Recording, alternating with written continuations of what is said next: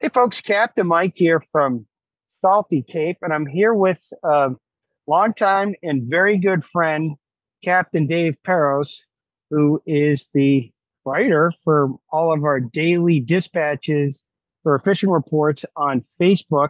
We're trying a new format today. Eventually, this will turn into a podcast. But for start, you're probably watching this on a YouTube video em- embedded in our Friday fishing report. And if we're organized enough, we'll see if we can get it on a podcast. But the structure for today in this conversation about to watch or listen to is basically going to be Dave and I talking about the week we both experienced, both as first hand anglers and just being around in the field. And then we'll take a look at the weather and see see what some nice some some good thoughts for the weekend might be. And you might hear some tips along the way. And so, everybody, welcome to our first, you know, video and podcast of our fishing reports. And uh, I guess I'm going to leave it to Dave to uh, kick off how he started his his week and walk through some not step by step of the reports, but I'll just walk through the week and extrapolate that going forward. Well, thanks, Mike. It's good to be with you. I have to say that being a guide, this was a challenging week. We bought a wind and so that presented its own problems and issues. But I started out Monday. I did something which I tell people not to do, which, you know, is kind of a pattern, which was don't chase reports. Well, everybody told me, Monomoy, Monomoy, Monomoy. Well, I went to Monomoy on Monday. I thought that the wind looked okay. And let's just say I didn't catch anything at Monomoy. I got skunked. I think I'm probably the only person this year who's been skunked at Monomoy. The wind, when I pulled in the parking lot to launch my boat, was a lot stronger. And if you believe in karma, I think that may have played a part of it because I was like, man, the wind and oh, this is what great. And we got kind of a late start, and the people who caught fish that I talked to got a really early start. I mean, we probably didn't hit Monomoy Point until 6 7 o'clock. And by that time, we saw a few people catch fish trolling. But then I got in scramble mode, which again, something I tell people don't do, you know, stick it out, watch the tide. And like I said, we didn't catch anything. We hooked up a couple of times. But what I heard was that the fish got finicky after an early morning bite. They got finicky, and we saw that fish would come up for five seconds. If you happen to hit them on the head, you might get a reaction.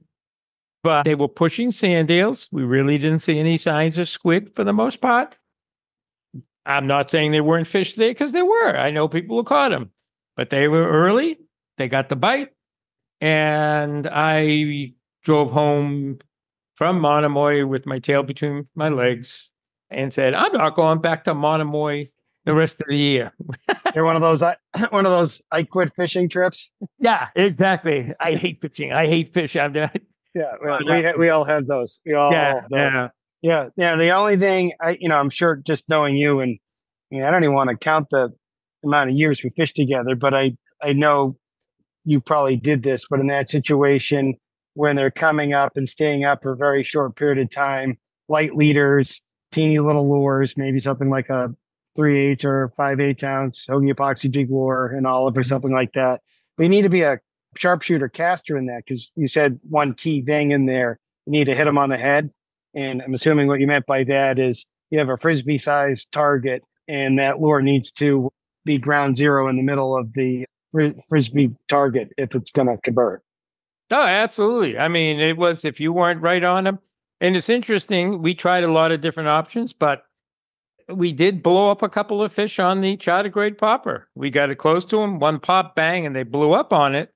But again, you had to put it, you know, right in the zone. So obviously, after Monday, I looked at the forecast and I was like, boy, this is you know, I had folks from Alabama and New York in town, and I'm thinking, I've got to get them out on the water. And, you know, we found fish. we actually saw you out there. I think it was on Wednesday. Wednesday. Yeah, yeah. Wednesday. We did. Yeah. Yeah, yeah. Tuesday. Uh, I think Tuesday was a blowout. Yeah, yeah. it was windy. It's it's what was painful about hearing your Monday Monomoy experience. You know, I was out a little bit on Tuesday here at uh, Hogy HQ in Falmouth and Nantucket. The closer Nantucket Sound and Vineyard Sound rips were, you know, sometimes they're better than others, but they were consistent here in this part of the world throughout the week. And the, surprised at how keyed in on the squid they are, considering how slow of a like a quote unquote squid season we had. Seems like there's still plenty yeah. of squid for the stripers to get very keyed in on. And and you know, I was just right before this call, I was talking to Captain Eric Staplefeld, and yeah, he's you know amber, amber, amber. Talked to Evan at Eastman's, amber, amber, amber. Mm-hmm. And so the translucent amber, whether it's a dog walker or a popper, in my universe, is the yeah. the the reoccurring phrase that I keep hearing. Now I know from experience on my boat because I saw you Wednesday in one of the aforementioned rips, and I had the translucent olive, like it's an olive color of the translucent white, and mm-hmm. that was doing just as well for us as the amber.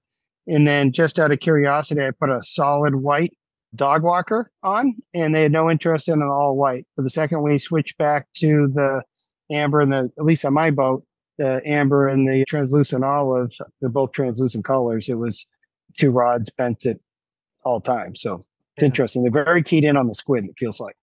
Yeah, I mean, I was shocked this week, honestly, to see the level of squid in the rips and just how how ferocious the feeds were. There were times if you looked in the rip and it, the water was just boiling with fish. And I thought one of the I thought one of the the the keys this week, and you were the first person to mention it, which was that they were off the rip at times. There were times, several, you know, 100, 200 feet off the rip, there were bass just boiling everywhere. I mean, in the flat water. And, yeah, and I, fa- I found those fish to be two things. One, a little larger, mm-hmm. the fish in the rip. And I think that's more of a, a competition thing. The bigger fish don't want to compete with the faster, smaller ones. And the other thing I noticed is the hookup ratio, at least on my boat, I'm speaking purely from my perspective, was much higher. It was an instant hookup in front of the rip, well in front of the rip in smooth water versus when you're casting and it's directly behind the boat presentation of the lure. And my mm-hmm. anglers were getting a lot of hits, but having a harder time hooking up when it was directly behind us versus perpendicular or slightly bow forward casts yeah. into the again in the smooth water. Yeah. I think that, you know, you've mentioned it numerous times and we've talked about it. I think that I've noticed on my boat this week, and I've noticed other boats. There, first of all, I think with with plug fishing in striped bass, way too much reeling and way too fast. I, I think it's an adrenaline thing. I think it's an excitement thing. And I just find found this week we got fish. We we cast the, the popper out in the smooth water and let it sit and the fish would blow up on it. It was just sitting there wobbling. It was, you know, the, the it was it was making a little commotion, but it wasn't. And all of a sudden, out of nowhere, the bigger fish just came up and just crushed it. And well, if you if you think about it, that like what's going on, you have these squid, which are not the fastest swimmers in the mm-hmm. world, mm-hmm. right? And they're just getting bullied by the current, and getting swept down tide, and that's what the striper is seeing is right. these like squid just very vulnerable in the water, just swimming sideways into the rip, trying to uh, stay out of the danger zone because they know what's on the other edge of that other side of that shoal. You know? Uh, yeah, yeah, yeah. I mean, and I mean, I don't want you, uh, Mike and I, as Mike said, we've been fishing for years, and and one of the things that we've do is we do voices a lot of times, and one of Mike's famous voices, he'd throw out a plug or something, he'd go, "Oh, look at me." poor little squid getting ripped in there, wham, and the fish would hit. And that's literally, I mean, what it is. I mean, literally, the plug looks like a squid and it's struggling and it and it's just kind of wobbling and it's trying to mind its own business, you know. minding it, that's it. Yeah. Oh, poor little squid minding its own business. Yeah. And then wham, it just gets clobbered. But I, I understand the adrenaline rush, but trying to get people sometimes to calm down, you know, let the current work to your advantage. One of my dogs is probably going to go because my wife is driving home. If you hear dogs barking, but yeah, it just it's just sometimes less is more. I mean, it, and I understand it's for you or I. We've been fishing for so long, but you know, fly fishermen usually kind of get that. But if spin fishermen would think a little bit like a fly fisherman and swing, swing the plug. I mean that that Hogy charter grade popper, you know, it floats. It it even if you're not reeling it, it's the rattles are rattling, the mouth is popping, the body is swinging, and it's an easy target. You know, it's yeah, like especially especially if you flag it out and take that back hook off, you've got that extra bucktail um, Yeah.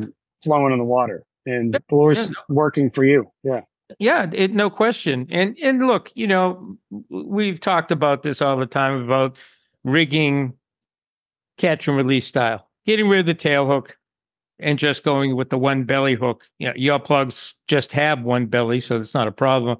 Some plugs will have two belly hooks.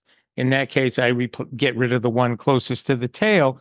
And you're going to miss fish. And you, you made a great point before that, you know, you had people hooking up in the flat water more than in the rip. Well, if you think about it, the plug is being it's bouncing around. Okay. And it, it it's a it's a hard target for the fish to get hold of, but it's also hard to keep contact with. You know, so sometimes that's why swinging that flat water, okay, you're gonna get better hookups. You know, yeah. Uh, a lure going getting hit when it's horizontal to the rip, Mhm. your hookup ratio is going to go up like exponentially versus like point with the if the tail of the hook the tail of the lure is heading backward. Now, Yeah. yeah, before we move on out of Vineyard Nantucket Sounds, because rip fishing is pretty unique to that those bodies of water, you know, Mhm. compare you know, zooming out on the Cape.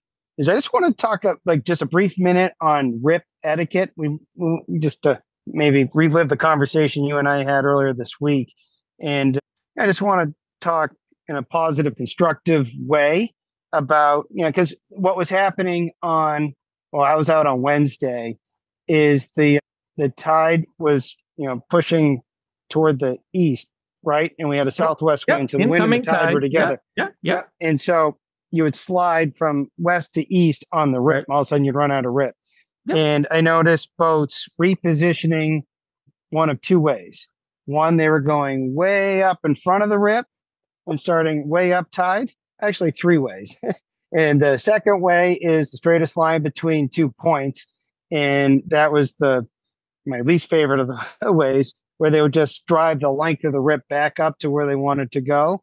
Mhm. And then then the third way, which I you and I talked about, I've never really seen this before, was running and gunning birds on a rip, and they were pushing the rip. So I thought we could break down, go in reverse order, and you know break down sort of why each one of those ways is either better or less better than others. But yeah, I'll let, yeah, the I'll start with the the running and gunning the birds because it was interesting on Wednesday. The birds are very clustered. They're very in specific spots, and they're moving from spot to spot.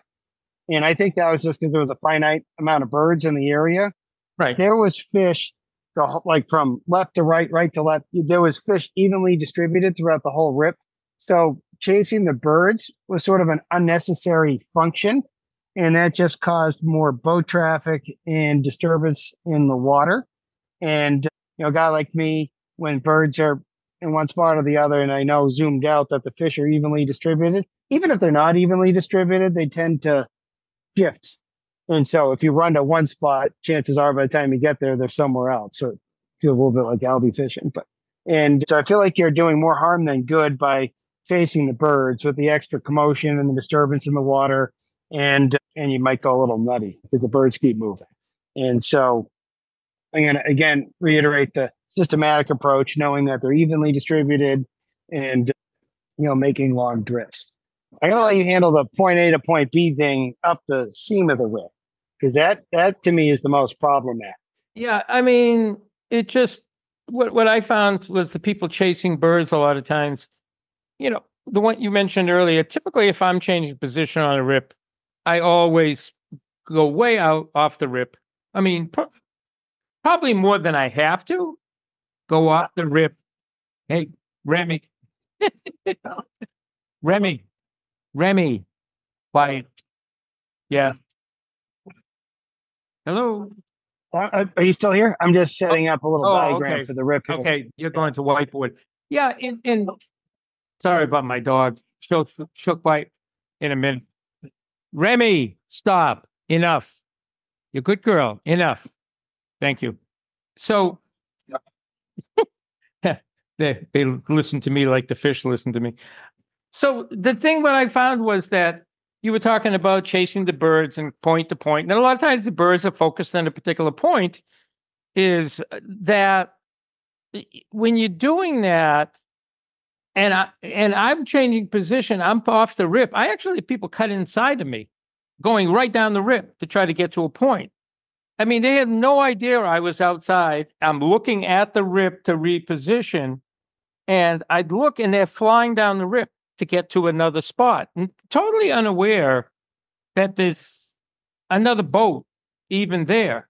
And what was the funniest part was they would race down the rip, looking at the birds, and in their wake, there were fish breaking everywhere. And they'd So- go flying past us, and I'd let them go by, and I would just swing my boat, and we'd hook up.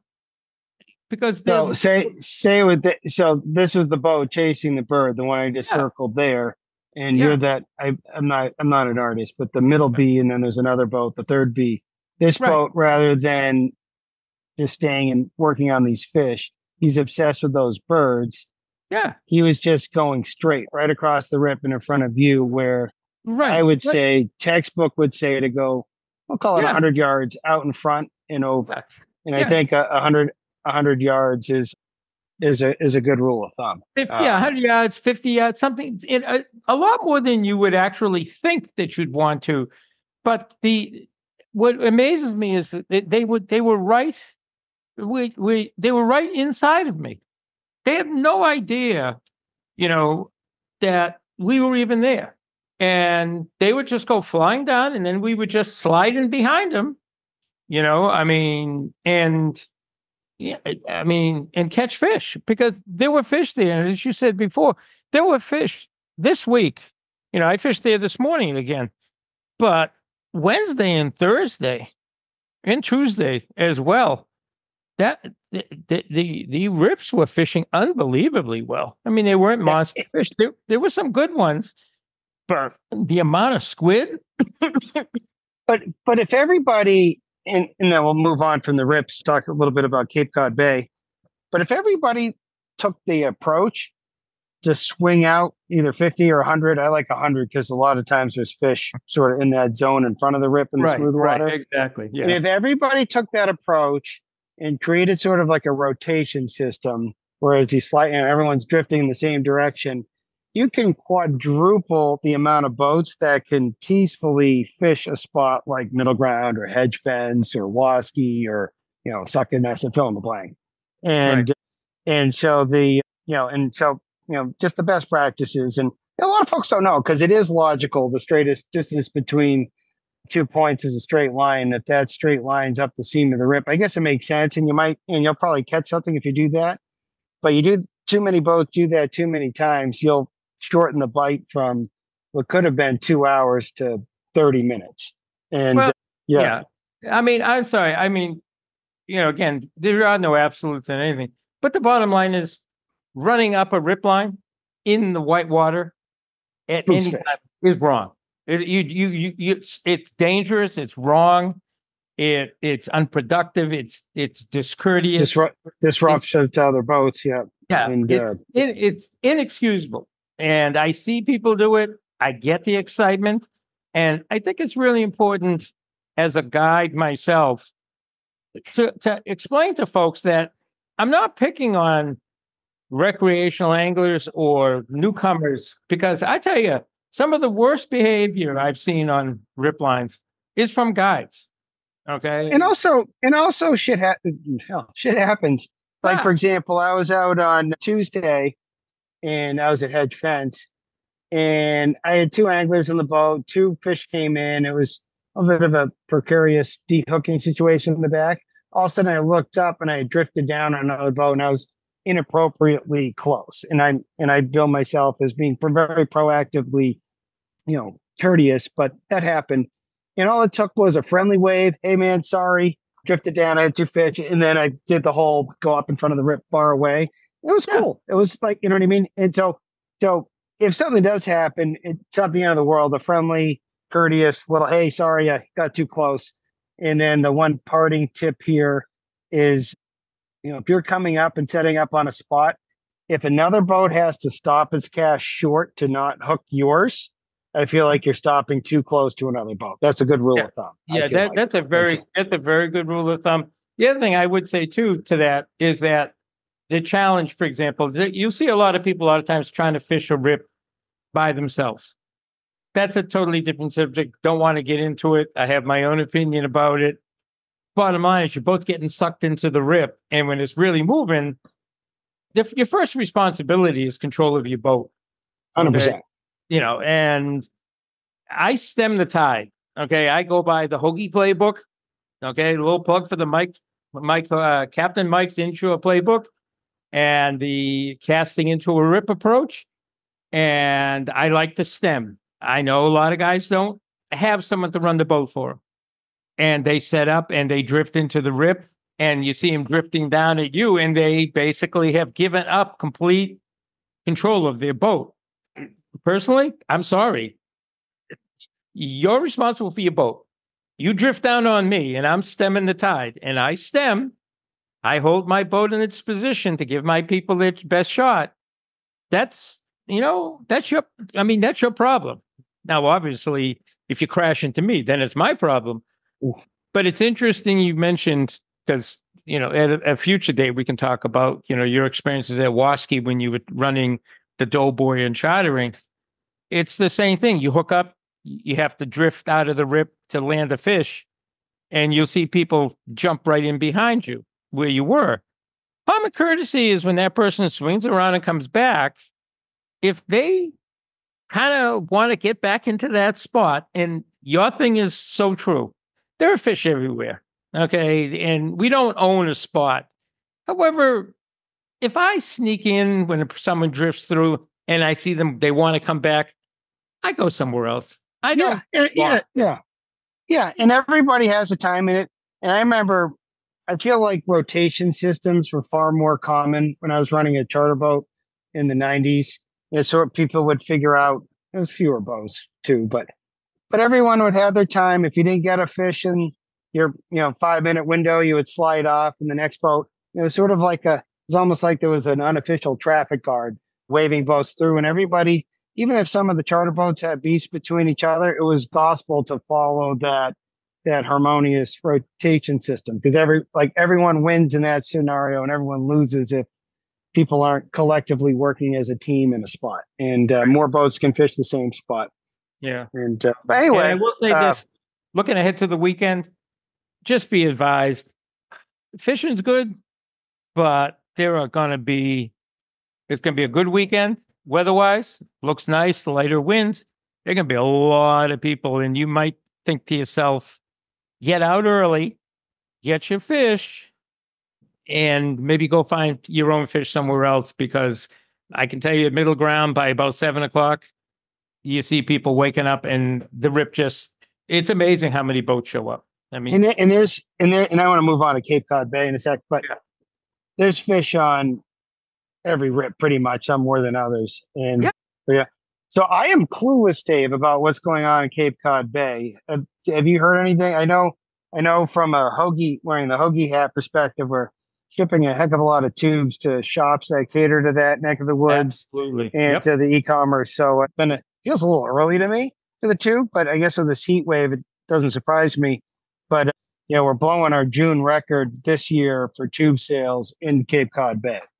Yeah, I mean, it's really you, your what you just said was the same for me. When when I, I talked with Jeff Miller, he's up at Canal Bait and Tackle, and when he was talking about tubes, tubes, tubes, I sold out all of my tubes today. I sold all my worms out today, and it's the same story in other shops. I'm thinking tube and worm in June. It just it didn't, but I think that's kind of a pattern for this whole season. Nothing has, in my opinion, has gone to what you know, which is you know, I mean, that's fishing. Right. But the interesting thing is, according to Jeff, a lot of the tube and worm fishing has been in deep water. It hasn't oh. been in that fairly tight to sandy neck. It's actually been out, you know, 40 feet of water, 50 feet of water. That, um, like, and I'm a newbie to Cape Cod Bay, being a Falmouth boy, but that's like fishing ledge out that way, or yeah, yeah, a fishing ledge, you know, well off the parking lot. And again, that's where you know, in your case, we've t- talked about it. You have the trolling weights, okay? You lead core line. Jeff said they're still selling lead core. In fact, he sold all his lead core out. You know, I know a lot of people associate wireline with fishing deep. Lead core is a lot easier, especially if you have inexperienced anglers. It will get down really well, but you have the trolling weights. Yeah. And so, yeah, I have a few tips in that regard. So I used to be, well, you know, we've been fishing since the 90s, but uh, I'm not going to do the math, but I used to be a huge advocate for wire in the early 90s, then a huge advocate for lead core, then the evolution. Then you would see me with my fancy LC13 custom cut up from Cortland. Now mm-hmm. come to the point where I feel like I can get deeper with 40 or 30 pound test braid mm-hmm. in combination with a trolling weight. And interestingly, in that situation, I like an unweighted tube, like we have with the, you know, the tubes we make. They're technically weighted because there's a about an ounce and a quarter stainless steel helix core to make it swim down the middle. So it's not weight free. But uh, do I like? I use a technique, you know, called the, you know the know, it's a troll scan. So I'll troll along with the weights, but with that light braid, if I were to take the boat out of gear and either put it in free spool or just let the weight of three and a half or four four ounce sinker sinking it down with a tube, it gets down so it I feel like it almost gets down faster than the lead core because there's such less so much less restriction of that thin braid in that trolling weight.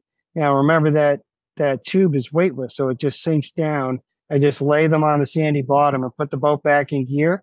And that emergence off the bottom is where, at least my, the, the, you know, I fish Cape Cod Bay with the tubes maybe a half dozen, dozen times a year, a half dozen times a year. And like that's where we got all the hookups. It was when we emerge it off the bottom. It's a very, I think a lot of people think tubes look like sea worms, uh, look like eels. I think the bass are thinking they're giant sea worms and just yeah. slow and lethargic emerging off the bottom is I, I feel like what the natural look is. Yeah, and I think it goes back to what you said before. People always ask me, you know, can you fish a tube without a worm? My answer is you can. Don't expect to catch anything. Okay. They that worm makes a huge difference. It makes all the difference. Now, I've known so people, I'm I'm on the same camp as you, but we sell a lot of tubes. A lot of folks that don't put anything on them and have great luck. I'm yeah. just too stuck in. We're yeah. from the same fishing generation, so uh, yeah. I mean, to, but again, it's hard to depart from that. Yeah, yeah. You have to change the thing. I know guys who have used eel skins for tubes. I've known people who've used pork rind for tubes on tubes. You know, again, and I personally used the fish bite sea worms. Yeah, yeah, but, yeah, and and it feels weird to me because again, I'm I, uh, I'm I'm fairly old school individual like yourself. We get uh-huh. along famously that way, but yeah, the uh, yeah the fish bite sea worms is unbelievable. I uh, They're awesome. Captain you Nat, yeah, Captain yeah. Nat Chocolate turned me onto those. Yeah, those are awesome. And I'm going to tell you right, the whole fish bites thing.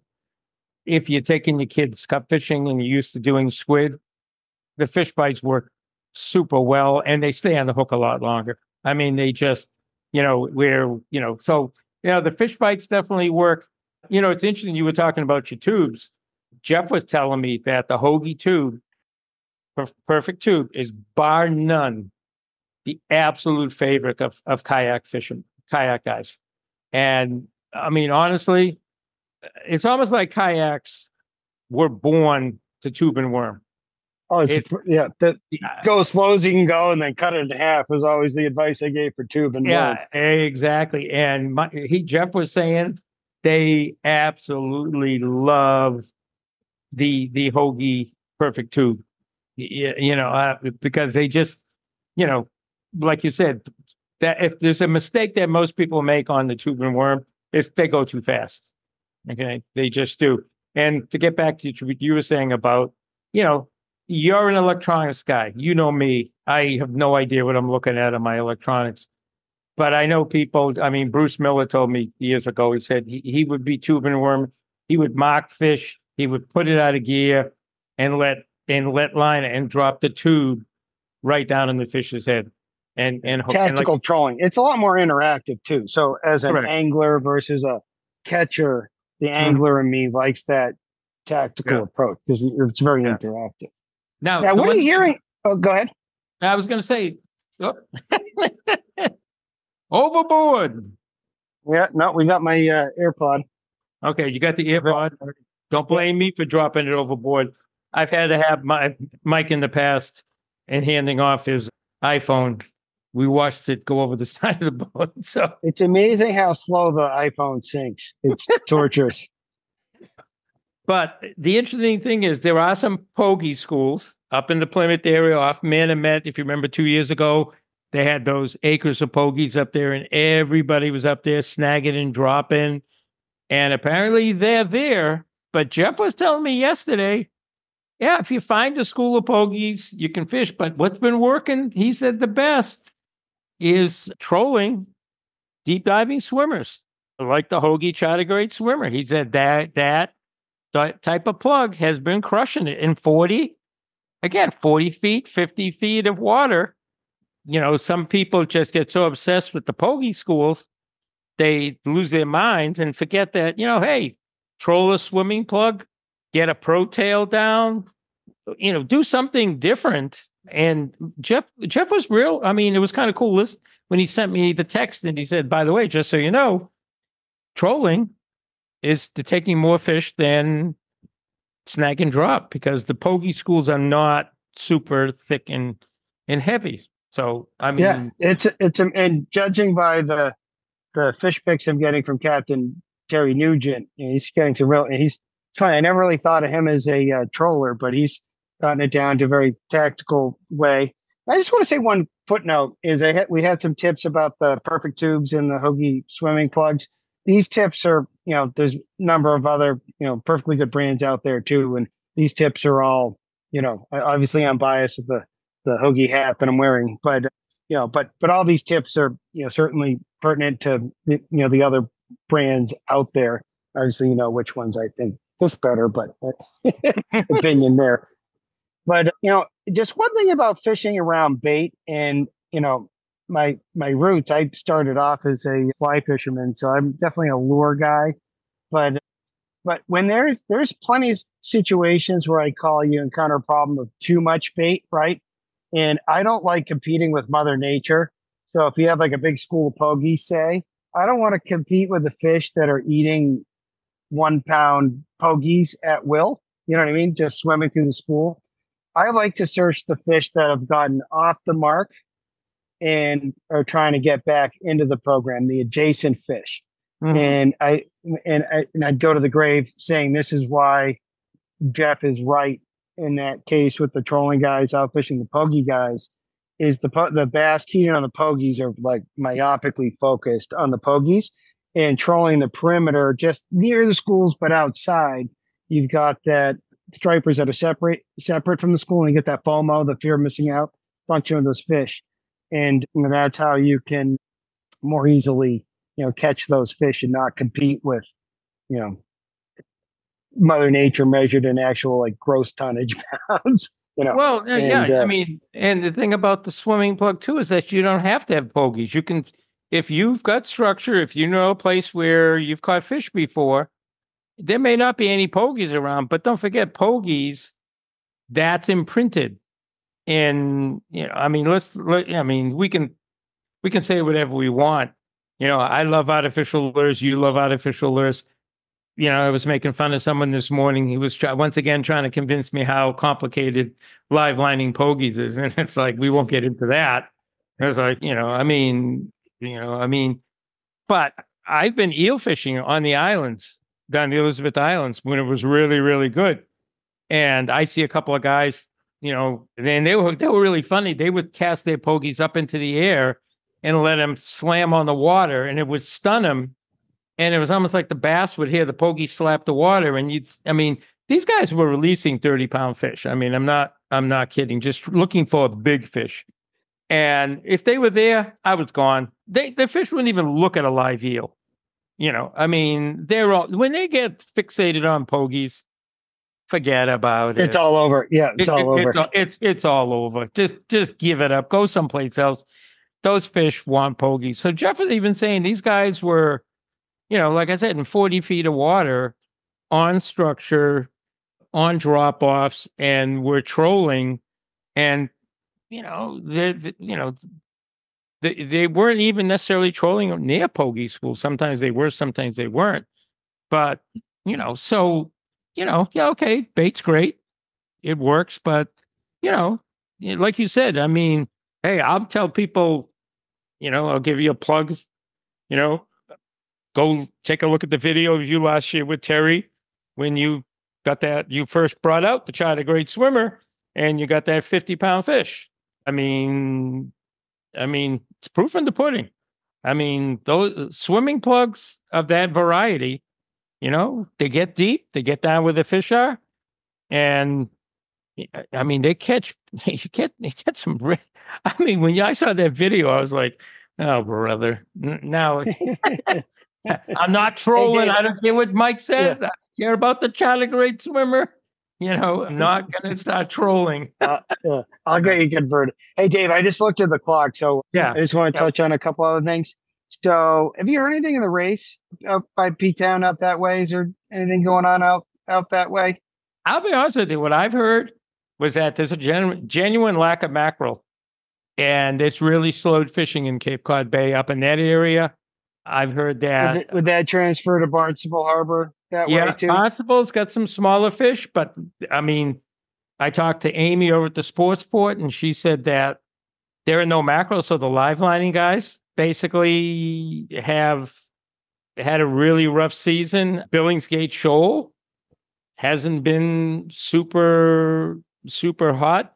It seems that you know a lot of the fish, you know, have w- went right up to Boston Harbor and north. That they almost bypassed, in some cases, the canal. They didn't come through the canal and get in the bay. They went around the outside, and so it's been a it it. I would say Cape Cod Bay, other than those tube and worm guys, and again, that's more towards the the western part of Cape Cod Bay. From what I understand, the eastern part, you know, from you know Orleans all the way to Race Point, has it's been you know I'm not. There are always fish, but you know you fished it when it's you know lights out, and from what I understand, it hasn't been lights out. So Now I mean, that's a good segue to the canal. I, I'm not a canal guy. I respect it. It's just not something.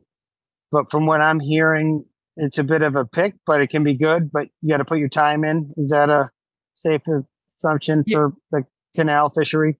Yeah, people who catch people who know how to fish the canal are catching fish. The I call them the YouTubers, the guys in the last, you know, when they had the blitzes from five years ago that were, you know, posting videos. They're waiting for other people to tell them where the fish are. It's a it you have to work. It's a struggle. It's a jig bite. The new moon didn't shape up in June. We've got the full moon. I think the full moon's tomorrow. I think the 22nd. So mm, this Try- week, tomorrow. I think. yeah, yeah. So this I'll, week, I'll go with that. okay, this week, you know, you got the breaking tides, those early morning east turning tides. There hasn't been a topwater bite. I mean, the, that big push of, you know, that everybody associates with the canal when everybody goes crazy.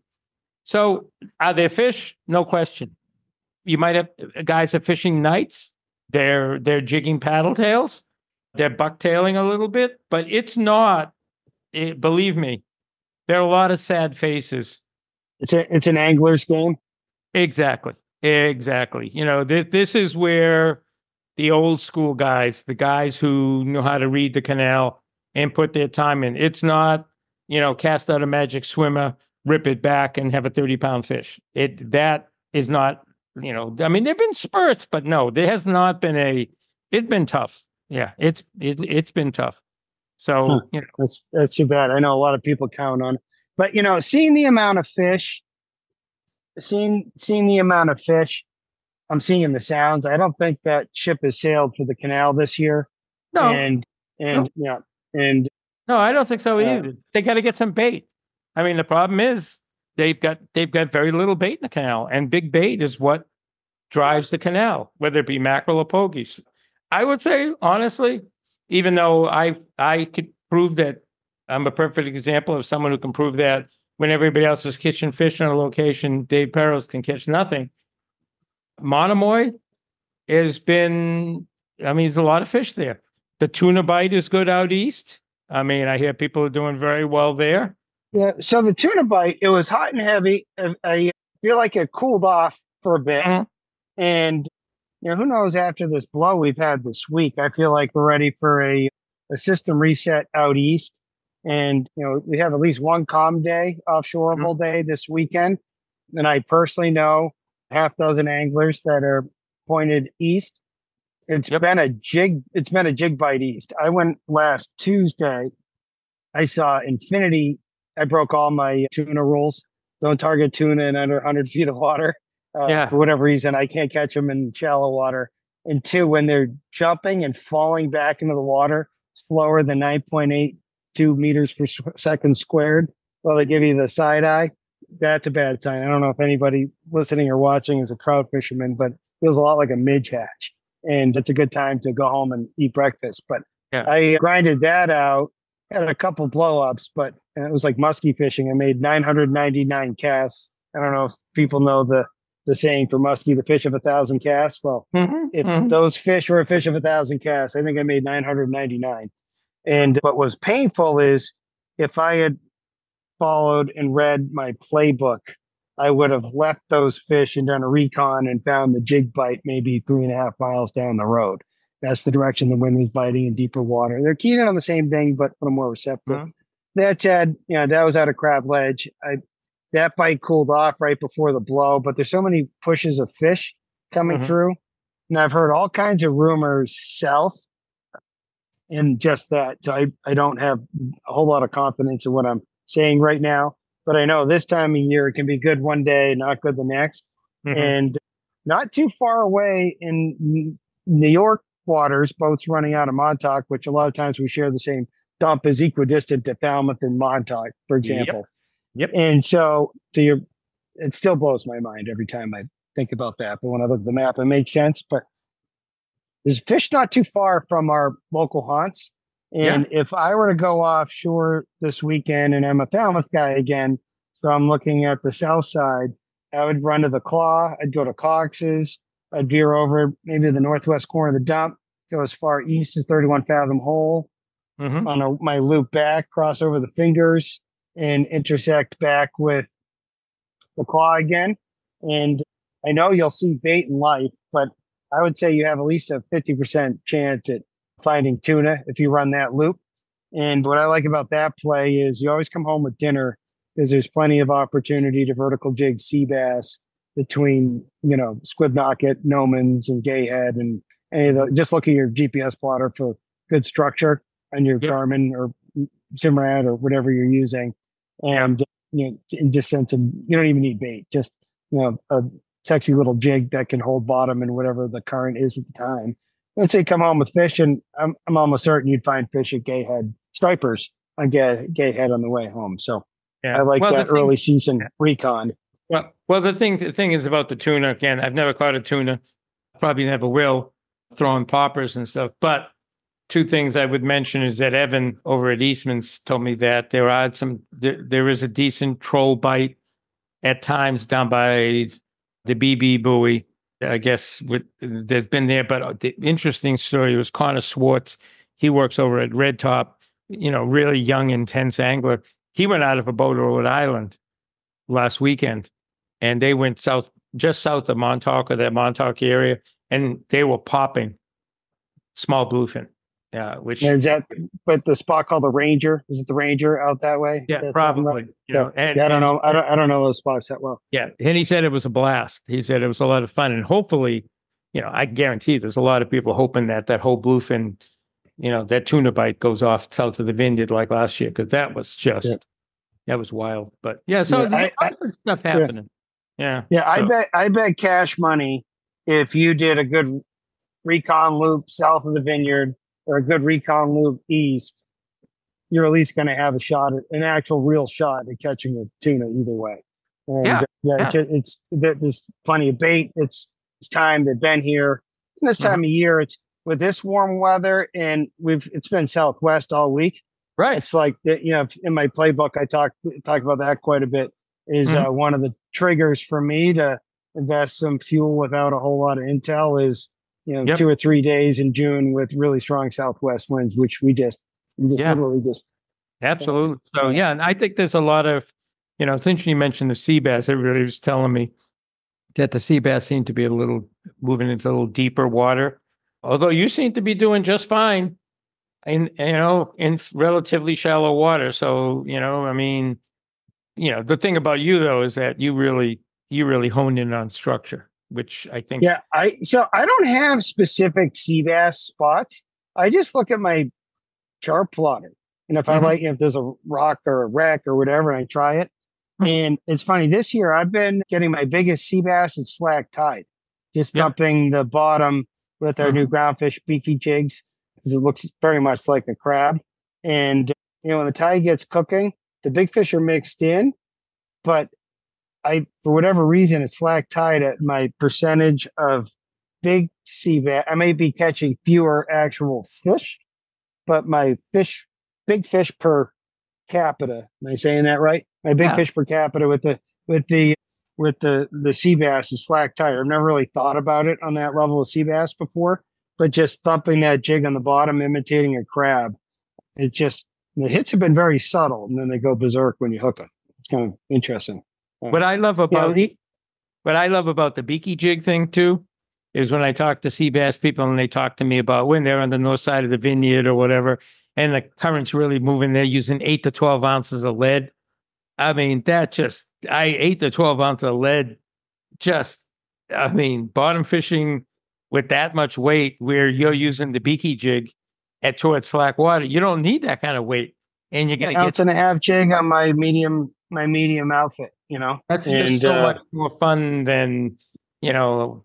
I mean, twelve ounces of weight. It's just it. They've just Yeah, blown that- my mind. That's cod fishing in my mind. Yeah. hey, Dave. Dave, I had to pick up my daughter at one, so Yeah, I, I, yeah. I, I can be Well, a few, then I can be a few I, I can be a few minutes late, but not No, no, no, no. You got to. late. Emma's So- Emma's important.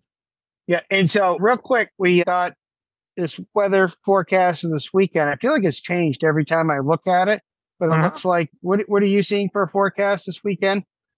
Uh, winds tomorrow.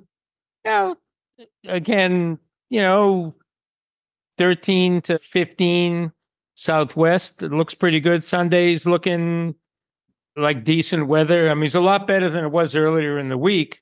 I think later in the day on Sunday, or maybe it's afternoon time, it looks like it's going to really come up because Monday looks really, really, Monday looks bad. So I would say Sunday, it's going to be a morning.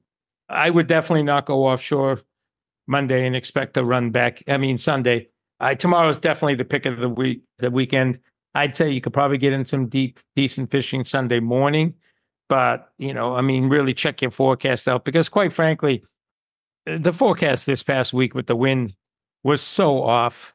I mean, oh, yesterday, Oh boy, yeah, I mean, when you Yeah. saw me going out, you Mike Mike saw me going out Thursday afternoon for a second charter, trying to get people on the water, and we got croaked. I mean, I we you know, I mean, and it wasn't even a small craft advisory out.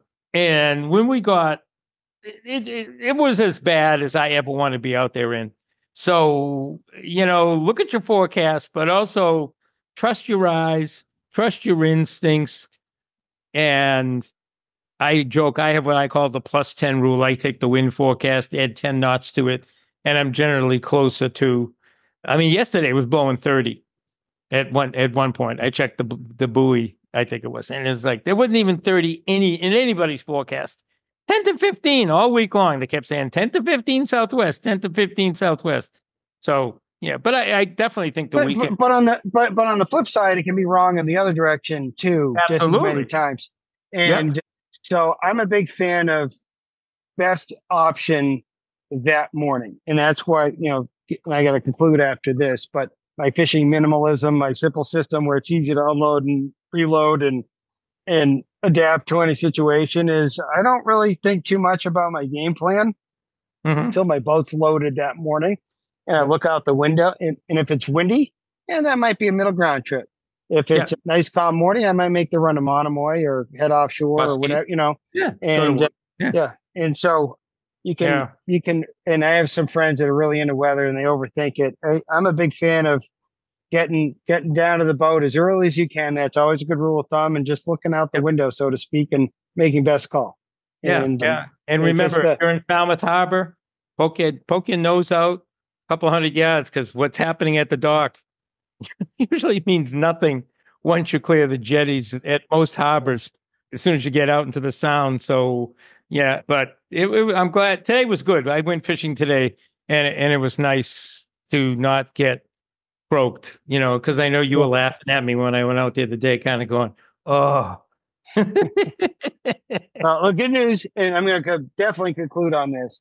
yeah. The good news is the the fish are close, and Yeah. and so, yep. So get out there, folks, and uh, hopefully you'll see us again next week. Yeah, we look forward to it. Thanks, Mike. All right, take care, everybody. Okay, bye bye. Have a good weekend. Bye bye.